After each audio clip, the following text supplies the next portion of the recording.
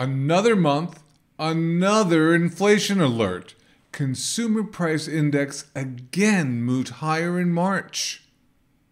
As this New York Times article points out, consumer prices increased 8.5% in the year through March, the fastest inflation rate since 1981, buoyed by rising gas costs and higher rents expenses that are stretching budgets and undermining confidence in the U.S. economy.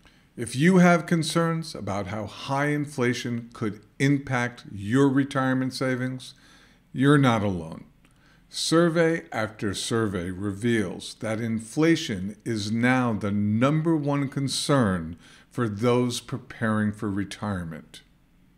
According to Fidelity data, 71% of Americans are very concerned about inflation's impact on their retirement preparedness, while 31% aren't sure how to keep up with inflation. In a recent article discussing the Fidelity survey results, MarketWatch suggests that savers are right to be worried about inflation for two good reasons. When listing out the reasons, the article says the first is that the official inflation rate may be a bit hinky.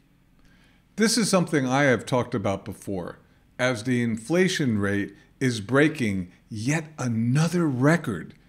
MarketWatch points out the government's own data show double digit rises in the past year in meat, poultry, fish, eggs, and milk, fresh fruit and vegetables, and things like cars and major household appliances.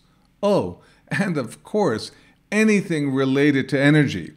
Gasoline prices have risen nearly 40%.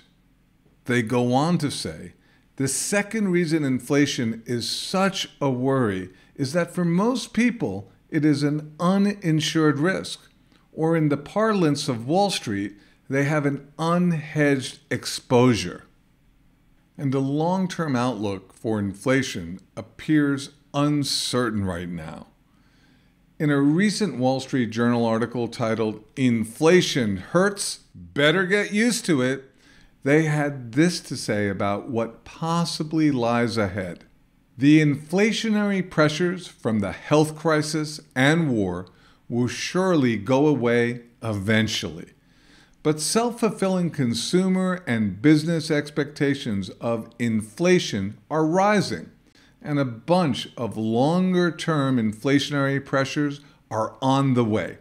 These include the retreat of globalization, massive spending to shift away from fossil fuels, more military spending, governments willing to run loose fiscal policy, and a starting point of an overheated economy and super cheap money. Even if things are a bit uncertain with inflation, one thing is certain. Wherever inflation goes from here, you can count on Augusta Precious Metals to be there with timely updates, information, and commentary. So, subscribe to our YouTube channel and stay up to date. Hey guys, Joe Montana here with my man Devlyn Steele. He and his team at Augusta Precious Metals are constantly putting out new information to keep you ahead of the game. Click subscribe now and hit the notification bell to stay up to date. You'll be glad you did.